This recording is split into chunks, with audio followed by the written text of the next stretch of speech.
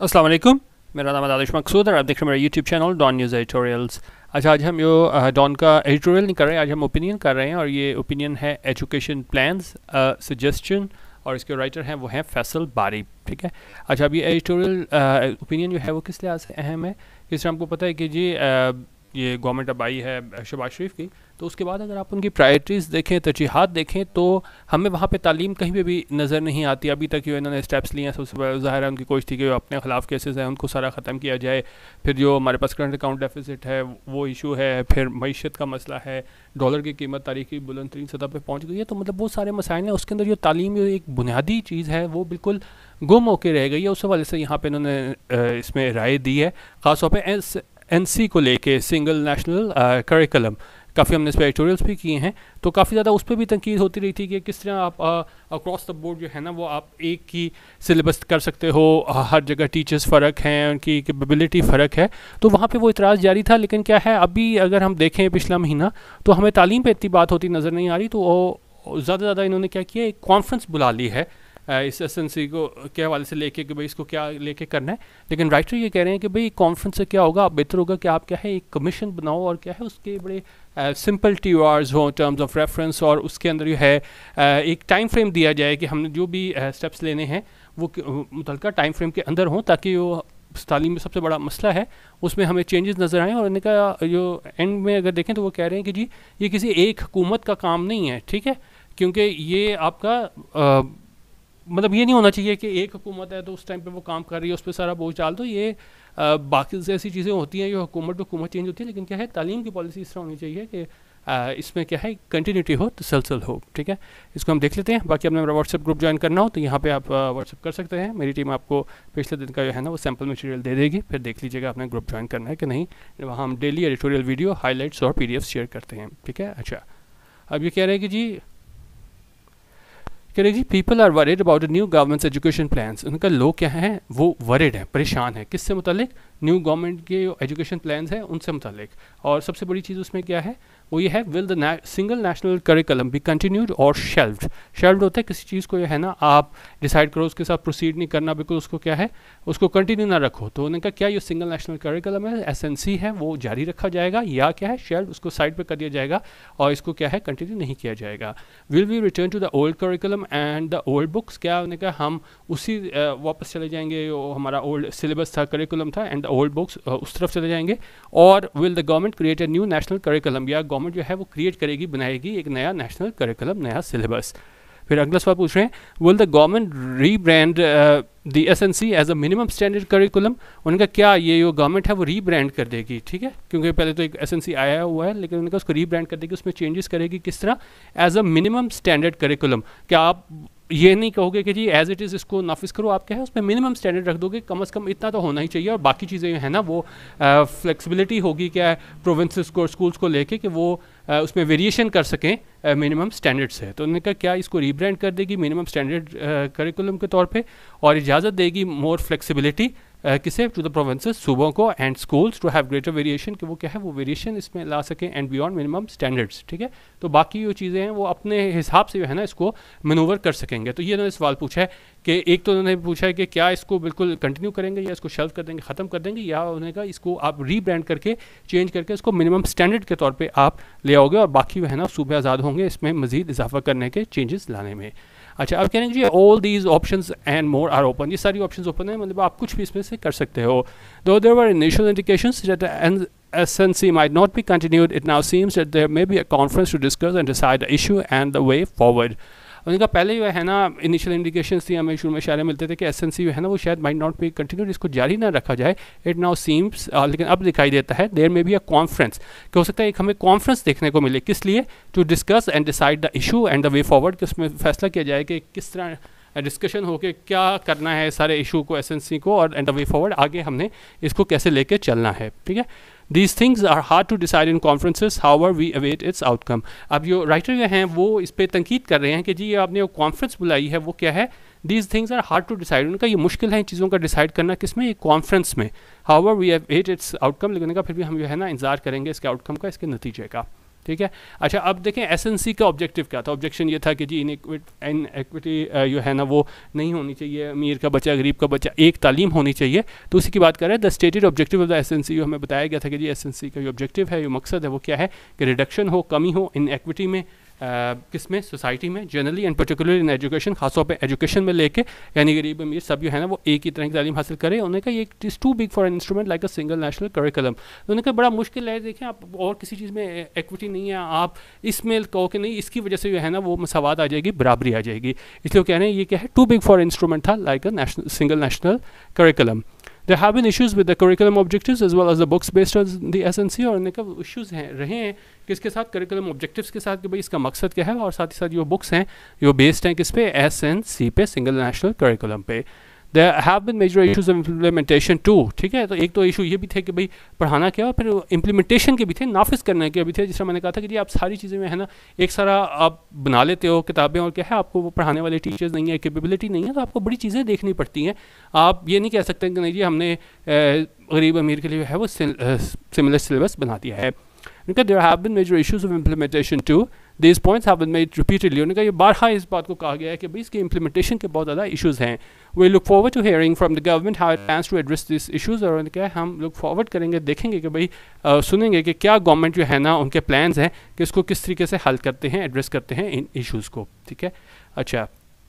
कह रहे हैं but aside from the essence we need to have a much deeper and more foundational look at educational issues education issues कहा SNC को लेकर हमें क्या है? दूसरे इशूज़ को भी, है ना, वो देखना पड़ेगा। These issues are for the K twelve kindergarten sector as well as the higher education sector तो उन्होंने कहा, ये किंडर गार्डन के हवाले से भी हैं और हायर एजुकेशन सेक्टर के हवाले से भी हैं और ये कह रहे हैं I will come back to higher education issues in other day ठीक है? तो उन्होंने कहा, यो मैं हायर एजुकेशन इशूज़ की है ना, वो बात बाद में करूँगा। मतलब कि अभी इसमें डिस्कशन हो रही है, वो हमारे पास किस हवाले से है? किंडर गार्डन के हवाले से हमारी यहाँ पर बात हो रही है। ठीक है?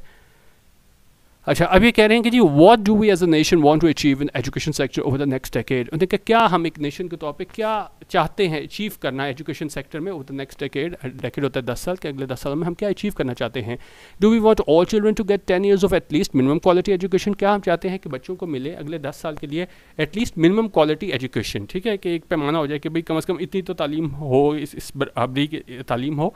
This is the promise enshrine the constitution through article twenty five A added as part of the eighteen amendment और यही वो प्रॉमिस है जो है हमारे पास कॉन्स्टिट्यूशन में आर्टिकल पच्चीस ए में जो अठारहवीं तमीम के बाद ऐड किया गया था, लेकिन क्या कह रहे हैं but no government has worked on this लेकिन उन्होंने कहा, किसी गवर्नमेंट इस चीज़ पे काम किया नहीं, ठीक है? इवन टुडे उन्होंने कहा, यहाँ तक कि आज भी क्या है we do not have universal primary enrolment और कंप्लीशन उन्होंने कहा, अभी भी हमारे पास यूनिवर्सल प्राइमरी इनरोलमेंट नहीं है और कंप्लीशन नहीं है।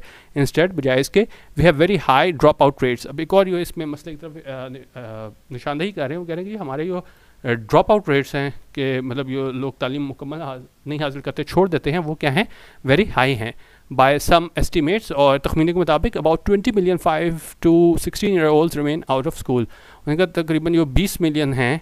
five to sixteen years old वो क्या हैं वो बाहर हैं स्कूल से यानी कि स्कूल नहीं जाते do we want to make the promise of article twenty five a reality उन्होंने कहा क्या हम ये प्रॉमिस है कि जी तालीम मिलेगी हर किसी को आर्टिकल ट्वेंटी फाइव ए की उसको हम रियलिटी उसको हम हकीकत बनाना चाहते हैं ये सवाल पूछा है Similarly, we have plenty of evidence that the majority of children in school in Pakistan, most of those are enrolled in government schools and in low private schools and madrasas, and these uh, make up some 95% of all children enrolled in schools in Pakistan have to endure a quality uh, of education अच्छा मैंने कहा इस तरह हमारे पास बहुत ज़्यादा इस बात पे एविडेंस मौजूद है कि जो मेजॉरिटी ऑफ़ चिल्ड्रन हैं स्कूल में पाकिस्तान में। वो क्या है जो एनरोल होते हैं गवर्नमेंट स्कूल में या ये लो फ़ी प्राइवेट स्कूल्स में होते हैं या मदरसा में होते हैं और ये सारा कितना बनते हैं? तकरीबन पचानवे फ़ीसद बनते हैं ये तमाम जो बच्चे जो एनरोल्ड हैं स्कूल में दाखिल हैं। आ, उनको क्या है इंडोर करना पड़ता है बर्दाश्त करना पड़ता है पुअर क्वालिटी ऑफ़ एजुकेशन उनको अच्छी क्वालिटी एजुकेशन का सामना नहीं होता। Plenty of test examination and assessment results establish this fact होने का बहुत ज़्यादा ये टेस्ट है एग्जामिनेशन असेसमेंट वो ये बताती है कि 95 परसेंट मतलब बच्चे हैं, उनको क्या है क्वालिटी एजुकेशन मैसर नहीं। अब सवाल फिर दोबारा पूछ रहे हैं do we want to prioritise the issue of quality of education क्या हम इसको मतलब क्या है, इसको तरजीह बनाना चाहते हैं? ये इशू है क्वालिटी ऑफ़ एजुकेशन के हवाले से, ठीक है? I think I have little hesitation in saying that Pakistan has probably one of the most inquisitive and differentiated education system in the world. अच्छा बड़ा अच्छा वर्ड यूज़ हुआ है यहाँ पे inquisitors इंक्विजिटस इंक्विजिटस होता है कुछ चीज़ बहुत गलत अनफेयर ठीक है तो मतलब जो हमारा मतलब तालीमी निज़ाम है उसको ये कह रहे हैं कि क्या है रॉन्ग है अनफेयर है ठीक है और साथ कह रहे हैं डिफ्रेंशिएटेड है क्योंकि बहुत ज़्यादा clearly different from others others बहुत ज़्यादा फ़र्क है अगर हम इसको मुवजना करें हमारे जो अपना हमारा एजुकेशन सिस्टम है और उसको मुवजना करें दुनिया के साथ ठीक है? तो मैंने कहा मेरे को थोड़ी हेजिटेशन है। ये कहने में कि पाकिस्तान जो है ना वो सबसे ज़्यादा इंक्विजिटिव और मतलब सबसे ज़्यादा ऐसा मुल्क जहाँ पे बहुत ज़्यादा रॉन्ग एंड अनफेयर जो है ना एजुकेशन सिस्टम है डिफ्रेंशिएटेड एजुकेशन सिस्टम है। आ, अगर हम पूरी दुनिया में देखें तो पाकिस्तान में जो है ना सबसे ज़्यादा इंक्विजिटिव और डिफ्रेंशिएटेड एजुकेशन सिस्टम क्या है? पाकिस्तान में है। और फिर यहाँ पे हमें डिविजन्स कहाँ, किस चीज़ पे देखने को मिलते हैं differences they are divisions based on the income of parents ठीक है? फिर एक हमारे पास फैक्टर आ जाता है इनकम ऑफ़ पेरेंट्स का आ जाता है जेंडर का आ जाता है, कि मेल है फीमेल है जोग्राफी का आ जाता है, आप कहाँ से आते हो? कास्ट का आ जाता है, ज़ात, जिसे कहते हैं रिलीजन मज़हब culture सकाफत language examination system and books ठीक है? तो ये सारी चीज़ें जिसकी बुनियाद पर क्या है? डिविजन्स हमें देखने को मिलती हैं। On uh, what education a child gets if she indeed gets any depends on many or all these factors. उन्होंने कहा एक एजुकेशन जो एक बच्चे को मिलती है वो क्या है?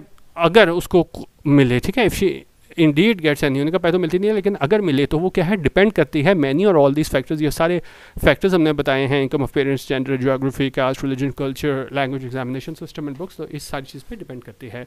फिर is creating equity a goal for society and state उन्होंने कहा क्या एक्विटी क्रिएट करना एक गोल किसके लिए होना चाहिए सोसाइटी और स्टेट के लिए? कह रहे हैं this question is much bigger than the single national curriculum issue उन्होंने कहा सवाल बहुत बड़ा है किससे सिंगल नेशनल करिकुलम इशू से ठीक है? तो uh, सवाल बेसिकली क्या था? Is creating equity a goal for society and state ठीक है ये इसमें सवाल पूछा हुआ है। अच्छा अब क्या रहेंगे जी?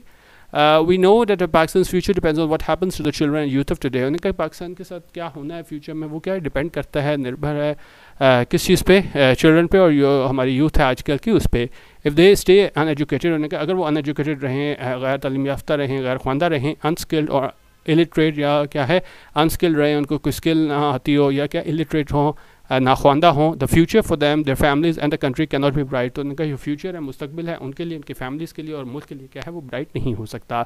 We have ambition of development and achieving a sustainable high growth trajectory कहा, हमारे एम्बिशंस हैं, हमारी ख्वाहिशात हैं कि हम क्या है डेवलपमेंट की तरफ़ जाएँ और अचीव करें सस्टेनेबल हाई ग्रोथ ट्रजेक्ट्री लेकिन क्या कह रहे हैं this can not happen the children today and rose born in next few years do not get quality education लेकिन उनका ऐसा नहीं हो सकता कि वो बच्चे आज के और जो पैदा हों अगले कुछ सालों में, उनको क्या है क्वालिटी एजुकेशन ना मिले। उन्होंने कहा no amount of short term economic stability उनका किसी भी तरह की है ना शॉर्ट टर्म की इकोनॉमिक स्टेबिलिटी और level of support from other countries and multilaterals will put us on medium to long run high growth trajectory उन्होंने कहा किसी भी तरह की शॉर्ट टर्म इकोनॉमिक स्टेबिलिटी या अगर हमें सपोर्ट मिलती है दूसरे ममालिक से मल्टीलैटरल से, वो हमें क्या ले जाएगी medium to long term high growth trajectory की तरफ़? अगर if we do not have human capital to underpin growth and sustain अगर हमारे पास ह्यूमन कैपिटल ना हुआ कि हम इसको क्या है अंडरपिन हमारे पास आ जाता है?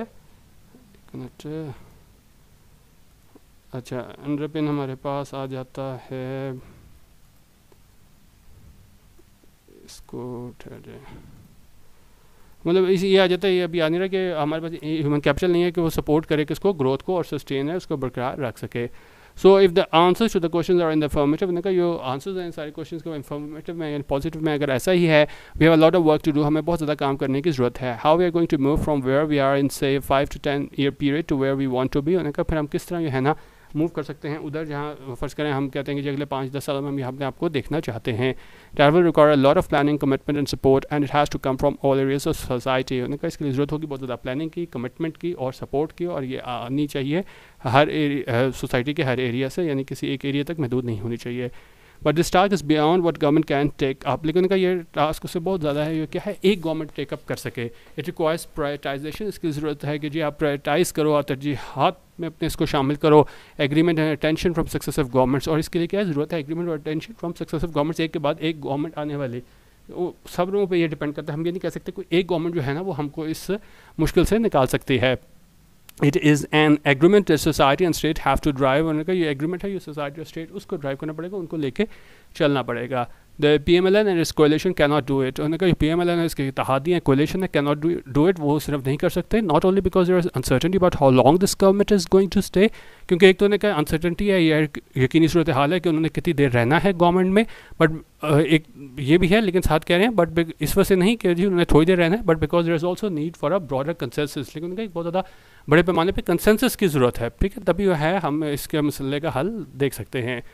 Can be suggested that this government should set up a commission for creating this अब ये बड़ा इंपॉर्टेंट लाइन है, अब यहाँ पे वो सजेशन दे रहे हैं क्योंकि कह रहे हैं कि जी, जो कॉन्फ्रेंस है वो तो ठीक नहीं है, लेकिन वो कह रहे हैं कि जी, एक कमीशन बनना चाहिए। ठीक है? और इस, ताकि क्रिएट किया जा सके ऐसी कमिटमेंट के भाई सिर्फ़ किसी एक गवर्नमेंट का काम थी आने वाली सारी गवर्नमेंट्स में है ना, उस सारों की मुश्तरक ज़िम्मेदारी हो। और this should be a high power commission इनका ये हाई पावर कमीशन होना चाहिए और इसका क्या है? क्लियर एंड डेट होनी चाहिए और से ट्वेल्व टू एटीन मंथ्स ये नहीं होना चाहिए बस आपने कमीशन बना दिया और काम जो है ना खुले लाइन लग गया। उनका एक बारह से अठारह महीने के है ना उसमें टर्म वो होना चाहिए टाइम होना चाहिए। जो टी आर्स हैं टर्म्स ऑफ़ रेफरेंस वो बड़े सिंपल होने चाहिए और कमीशन जो है ना वो एजुकेशनल प्रायोरिटीज़ पे उसको काम करना चाहिए और अगले दस सालों का, एक प्लान बनाना चाहिए।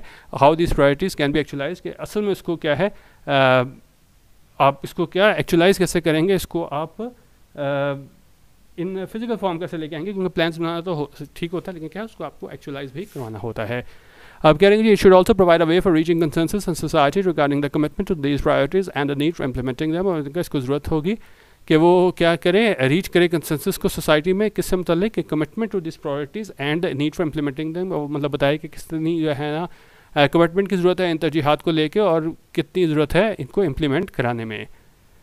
It is thus important at the commission have eminent educationist and representative all mainstream schools of thought as its members उन्होंने कहा बड़ी इंपॉर्टेंट बात है कमीशन के पास ये एमिनेंट एजुकेशनस्ट हैं। एमिनेंट होता है एक बंदा भी बहुत फ़ेमस हो बिल्कुल अपनी फ़ील्ड में है ना बहुत माहिर हो एमिनेंट ठीक है इससे काफ़ी लोग कन्फ्यूज़ uh, करते हैं। एक ये ई e से होता है एमिनेंट और आई से ये होता है ना इमिनेंट वो होता है, कुछ चीज़ होने को हो, ठीक है? तो ये आप ई e और आई एमिनेंट और इमिनेंट के स्पेलिंग देखिए, यहाँ पे एमिनेंट यूज़ हुआ हुआ है, यानी कि मतलब मशहूर होते हैं, अपनी फ़ील्ड के एक्सपर्ट होते हैं एजुकेशनिस्ट तो उन्होंने कहा, ये अहम बात है कि कमीशन में एमिनेंट एजुकेशनिस्ट और रिप्रेजेंटेटिव्स भी हैं mainstream schools of thought के, इसके मेंबर के तौर पर ठीक है?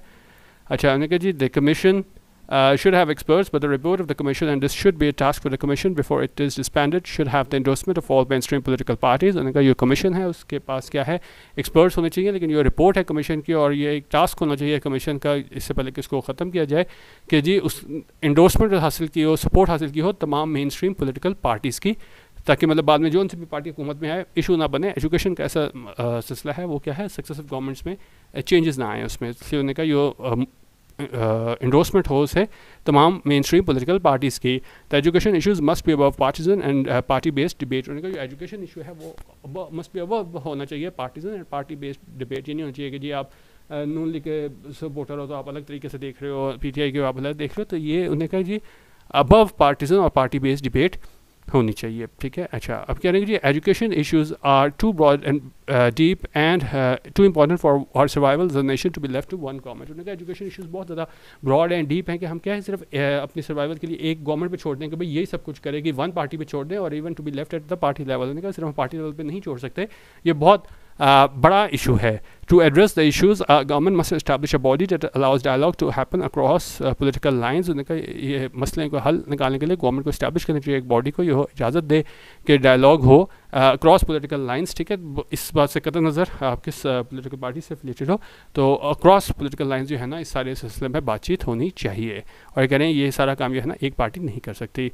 Commission with specific terms of reference at timeline mark be one way to start this dialogue उन्होंने कहा कमीशन जिसके स्पेसिफिक टर्म्स ऑफ़ रेफरेंस हो टी हों, और टाइम लाइन हो कि कितनी ईयर में आपने रिपोर्ट देनी है, वो क्या है, एक तरीका हो सकता है इस सारे डायलॉग को स्टार्ट करने का। और लास्ट में ये कह रहे हैं जी I hope the current government gives the issue some thought उन्होंने उम्मीद है कि वो करंट गवर्नमेंट है, मुझे हुकूमत है गिव्स द इशू वो दे इस इशू को सम थॉट यानी इस बारे में सोचे कि हमने क्या करना है, किस तरह लेके चलना है, क्योंकि ये सारा मसला जो है तालीम का, इस पर डिपेंड करेगा हमारी नेक्स्ट जनरेशन्स कि क्या कर पाती हैं, क्या नहीं कर पाती ठीक है? ये मैंने यहाँ पे लिखा हुआ है व्हाट्सएप ग्रुप की डिटेल आप लोगों ने ज्वाइन करना हो तो यहाँ पे ज़ीरो तीन सौ बारह, चार सौ उन्नीस, दस सत्तर, यहाँ पे आप व्हाट्सअप करें, आपको पिछले दिन का हम सैंपल मटेरियल दे देंगे तो आप देख लीजिएगा, आपके अगर बेनिफिट में हुआ तो इसको ज्वाइन कर लीजिएगा ठीक है? वीडियो देखेंगे बहुत शुक्रिया, अल्लाह हाफ़ पाकिस्तान, जिंदाबाद।